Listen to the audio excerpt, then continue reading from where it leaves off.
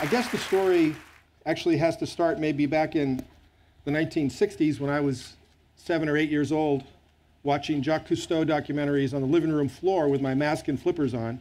And um, then after every episode, I, I had to go up to the bathtub and swim around the bathtub and look at the drain, because that's all there was to look at. And by the time I turned uh, 16, I pursued a career in uh, marine science and uh, exploration and diving and lived in underwater habitats like this one off the Florida Keys uh, for 30 days total. Brian Skerry took this shot. Thanks, Brian. And I've dived in deep sea submersibles around the world. And this one uh, is the deepest diving submarine in the world, operated by the Japanese government. And Sylvia Earle and I were on an expedition in this submarine 20 years ago in Japan. And on my dive, I went down 18,000 feet to an area that I thought would be a pristine wilderness area on the seafloor. But when I got there, I found lots of plastic garbage and other debris. And it was really a turning point in my life where I started to realize that I couldn't just go have fun doing science and exploration. I needed to put it into a context. I needed to head towards conservation goals. So I began to work with uh, National Geographic Society and others and led expeditions to Antarctica. I led three diving expeditions to Antarctica. Ten years ago was a seminal trip where we explored that big iceberg B15, the largest iceberg in history that broke off the Ross Ice Shelf. And we developed techniques to dive inside and under the iceberg, such as heating pads on our kidneys with a battery that we dragged around so that as the blood flowed through our kidneys, it would get a little boost of warmth before going back into our bodies. But after three trips to Antarctica, I decided that it might be nicer to work in warmer water. And that same year, 10 years ago, I headed north to the Phoenix Islands. And I'm going to tell you that story here in a moment. But before I do, I just want you to ponder this graph for a moment. You may have seen this in other forms, but the top line is the amount of protected area on land globally, and it's about 12%. And you can see that it kind of hockey sticks up around the 1960s and 70s, and it's on a kind of a nice trajectory right now. And that's probably because that's when everybody got aware of the environment and and Earth Day and, and all the stuff that happened in the 60s with the hippies and everything really did, I think, have an effect on global awareness. But the ocean protected area is basically flatline until right about now. It appears to be ticking up. And I do believe that we are at the hockey stick point of the protected area in the ocean. I think we would have gotten there a lot earlier if we could see what happens in the ocean like we can see what happens on land. But unfortunately, the ocean is opaque and we can't see what's going on, and therefore we're way behind on uh, protection. But scuba diving, submersibles, and all the work that we're setting about to do here uh, will help rectify that. So, where are the Phoenix Islands? They were the world's largest marine protected area up until last week when the Chagos Archipelago was declared. It's in the mid Pacific, it's about five days from anywhere. If you want to get to the Phoenix Islands, uh, it's five days from Fiji, it's five days from Hawaii, it's five days from Samoa. It's out in the middle of the Pacific, uh, right around the equator. Uh, I had never heard of the islands 10 years ago, nor the country Kiribati that owns them, till two friends of mine who run a live aboard dive boat in Fiji said, Greg, would you lead a scientific expedition up to these islands? They've never been dived. And I said, yeah, but you know, tell me where they are and the country that owns them. So that's when I first learned of the islands and had no idea what I was getting into, but I was in for the adventure. Let me give you a little peek here of the Phoenix Islands protected area. It's a very deep water part of our planet. The average depths are about 12,000 feet. There's lots of seamounts in the Phoenix Islands, which are specifically part of the protected area. Seamounts are uh, important for biodiversity. There's actually more mountains in the ocean than there are on land. It's an interesting fact and the Phoenix Islands is very rich in those seamounts. So it's a deep, very, think about it in a big three dimensional space, very deep three dimensional space with herds of tuna, whales, um, all kinds of deep sea marine life like we've seen here before. That's the vessel that uh, we took up there for these studies early on, and that's what the islands look like. You can see in the background. They're very low to the water, and they're all uninhabited, except one island has about uh, 35 caretakers on it and they've been uninhabited for most of time because the, even in the ancient days, these islands were too far away from the bright lights of Fiji and Hawaii and, and Tahiti for those ancient Polynesian mariners that were traversing the Pacific so widely. But we got up there, and I had the unique and wonderful scientific opportunity and personal opportunity to get to a place that had never been dived and just get to an island and go, okay, where are we going to dive? Let's try there. And then falling into the water, both my per personal and professional life changed. Suddenly, I saw a world that I had never seen before in the ocean. Uh, schools of fish that were so dense they dulled the penetration of sunlight from the surface. Coral reefs that were continuous and solid and colorful large fish everywhere, manta rays. It was an ecosystem, parrotfish spawning. This is about 5,000 long-nosed parrotfish spawning at the entrance to one of the Phoenix Islands. You can see the fish are balled up, and then there's a little cloudy area there where they're exchanging the eggs and sperm for reproduction. Events that the ocean is supposed to do, but struggles to do in many places now because of human activity. The Phoenix Islands and all the equatorial parts of our planet are very important for tuna fisheries, especially this yellowfin tuna that you see here. Phoenix Islands is a major tuna location. And sharks. We had sharks on our early dives, up to 150 sharks at once, which is an indication of a very, very healthy, very strong system.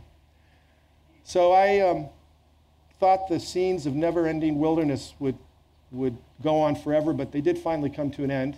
And we uh, explored the surface of the islands as well. Very important bird nesting sites, some of the most important bird nesting sites in the Pacific, in the world. And we finished our trip. And that's the, the area again. You can see the islands. There's eight islands that pop uh, out of the water. The, the peaks that don't come out of the water are the seamounts. Remember, a seamount turns into an island when it hits the surface.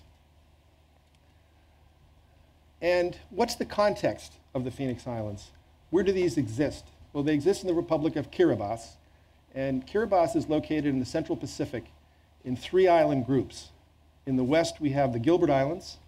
In the center, we have the Phoenix Islands, which is the subject that I'm talking about. And then over to the east, we have the Line Islands.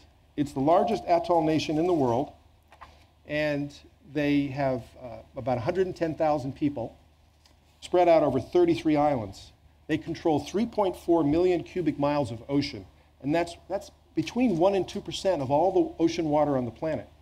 And when I was first going up there, you know, I barely knew the name of this country 10 years ago, and people would ask me, you know, why are you going to this place called Kiribati?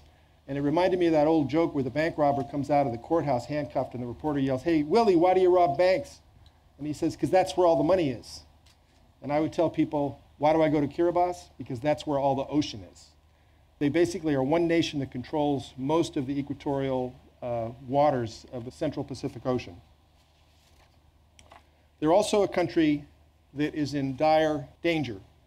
Sea levels are rising, and Kiribati, along with 42 other nations in the world, will be underwater within 50 to 100 years due to climate change and the associated uh, sea level rise from thermal expansion and the melting of uh, fresh water into the ocean. The islands rise only uh, one to two meters above the surface. Some of the islands have already gone underwater. And these nations are faced with a real problem. We as a world are faced with a problem. What do we do with displaced fellow you know, earthlings that no longer have a home on the planet? The uh, president of the Maldives conducted a mock cabinet meeting underwater recently to uh, highlight the dire straits of these countries. So it's something we need to focus on. But back to the Phoenix Islands, which is the subject of this talk. After I got back, I said, okay, uh, this is amazing what we found. I'd like to go back and share it with the government of Kiribati, who are over in Tarawa, the, the westernmost group. So I started contacting them because they had actually given me a permit to do this. And I said, I want to come up and tell you what we found. And, and for some reason, was, they didn't want me to come, or it was hard to find a time and a place, and it took a while. But finally, they said, okay, you can come, but if you come, you have to buy lunch for everybody that comes to the seminar. So I said, okay, I'm happy to buy lunch, just get whatever anybody wants. So David Obura, coral reef biologist, and I went to Tarawa, and we presented for two hours on the amazing findings of the Phoenix Islands. And this, the country had never, never knew this. They'd never had any data from this area. They'd never had any information from the Phoenix Islands. After the talk, the Minister of Fisheries walked up to me and he said, Greg, do you realize that you are the first scientist that has ever come back and told us what they did. They said, we, we often issue these permits to do research in our waters, but usually we get a note two or three years later or a, or a reprint. But you're the first one that's ever come back and told us what, what you did. We really appreciate that. And we're buying you lunch today. And are you free for dinner? and I was free for dinner. And I went out to dinner with the Minister of Fisheries in Kiribati. And over the course of dinner, I learned that Kiribati gains most of its revenue. It's a very poor country, but it gains what revenue it has by selling access to foreign nations to take fish out of its waters because Kiribati does not have the capacity to take the fish itself. And the deal that they strike is the extracting country gives Kiribati 5% of the landed value. So if the United States removes a million dollars worth of lobsters from a reef, Kiribati gets $50,000. And you know, it didn't seem like a very good deal to me. So I asked the minister over, over dinner, I said, would you consider a, a situation where you would still get paid if we do the math and figure out what the value of the resource is, but you leave the fish and the, and the sharks and the shrimp in the water? He stopped and he said, yes, we would like to do that to deal with our overfishing problem, and I think we would call it a reverse fishing license. He coined the term reverse fishing license. So I said, yes, a reverse fishing license. So we walked away from this dinner really not knowing where to go at that point. I went back to the States and started looking around to see if I could find um, examples where uh, reverse fishing licenses had been issued, and it turned out there were none. There were no oceanic deals where countries were compensated for not fishing. It had occurred on land in rainforests uh, of, of South America and Africa where landowners had been paid not to cut the trees down. Uh, and Conservation International had struck some of those deals. So I went to Conservation International and brought them in as a partner and went through the process of uh, valuing the fishery resource, deciding how much Kiribati should be compensated, what the range of the fishes were, brought in a whole bunch of other partners, the government of Australia, the government of New Zealand, the World Bank, the Oak Foundation, and National Geographic have been big funders of this as well. And we basically founded the park on the idea of an endowment that would pay the equivalent lost fishing license fees to this, to this very poor country to keep the area intact.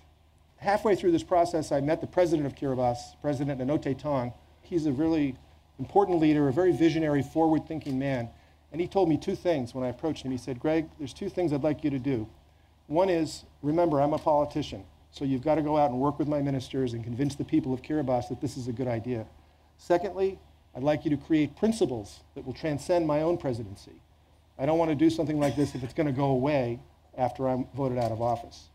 So we had very strong leadership, very good vision, and a, a lot of science, a lot of lawyers involved. There many, many steps were taken to pull this off. And it was primarily because Kiribati realized that this was in their own self-interest to do this. They realized that this was a common cause that they had found with the conservation community. Then, in 2002, when this was all going full swing, a coral bleaching event happened in the Phoenix Islands. Here's this resource that we're looking to save, and it turns out it's the hottest heating event that we can find on record. The ocean heated up, as it does sometimes, and the hotspot formed and stalled right over the Phoenix Islands for six months. It was over 32 degrees Celsius for six months, and it basically uh, killed 60% uh, of the coral. So suddenly we had this area that we were protecting, but now it, it, appeared to be dead, at least in the coral areas. Of course, the deep sea areas and the open ocean areas were fine, but the coral, which everybody likes to look at, was in trouble. Well, the good news is it's recovered, and recovering fast, faster than any reef we've seen. This picture was just taken by Brian Skerry a few months ago when we returned to the Phoenix Islands and discovered that because it is a protected area and has healthy fish populations, that keep the algae grazed down and keep the rest of the reef healthy, the coral is, is booming. It's just booming back. It's, it's almost like if a person has multiple diseases, it's hard to get well, you might die, but if you only have one disease to deal with, you can get better. And that's the story with climate change heating. It's, it's the only threat, the only influence that the reef had to deal with. There was no fishing, there was no pollution, there was no coastal development, and the reef is on full, full bore recovery. Now, I remember that dinner I had with the Minister of Fisheries 10 years ago when we first brought this up, and I got quite animated during the dinner and said, Well, I think that the conservation community might embrace this idea, Minister, he paused and put his hands together and said, Yes, Greg, but the devil will be in the details, he said. And it certainly was. The last 10 years have been detail after detail, ranging from creating legislation to multiple uh, research expeditions to communication plans. As I said, teams of lawyers, MOUs, creating the Phoenix Islands Trust Board. And we are now in the process of raising the full endowment. Kiribati frozen uh, extractive activities at its current state while we raise the endowment. We just had our first PIPA Trust Board meeting three weeks ago. So it's a fully functional, up and running entity that uh, negotiates the reverse fishing license with the country. And the PIPA Trust Board holds that license and pays the country uh, for this. So it's a very solid, very well thought out, very well grounded um, system. And it was a bottoms up system. And that was very important that this worked from the bottom up to, to secure this. So the conditions for success here are listed. You can read them yourselves. But I would say probably the most important one in my mind was working within the market forces of the situation. And that ensured that we could move this forward and that would have uh, both the self-interest of Kiribati as well as the self-interests of the world. And I'll leave you with one final slide. That is, how do we scale this up? How do we realize Sylvia's dream? Where does Mission Blue take this? Here's the Pacific with large MPAs and large conservation zones on it. And as you can see, we have a patchwork across this ocean. I've just described to you the one story behind that rectangular area in the middle, the Phoenix Islands, but every other green patch on that has its own story. And what we need to do now is look at the whole Pacific Ocean in its entirety and make a network of MPAs across the Pacific so that we have our world's largest ocean protected and, and self-sustaining over time. Thank you very much.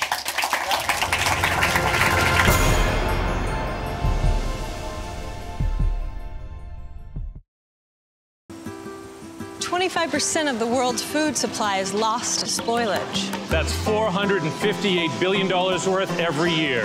On a smarter planet, we're building intelligence into physical things. So we can know how far our foods travel. Monitor temperature all the way to the market. And know it got to the table fresh. It's already happening in places like Canada, Norway, and Vietnam. When we make food smarter, we make it safer. That's what I'm working on. I'm an IBMer. Let's build a smarter planet.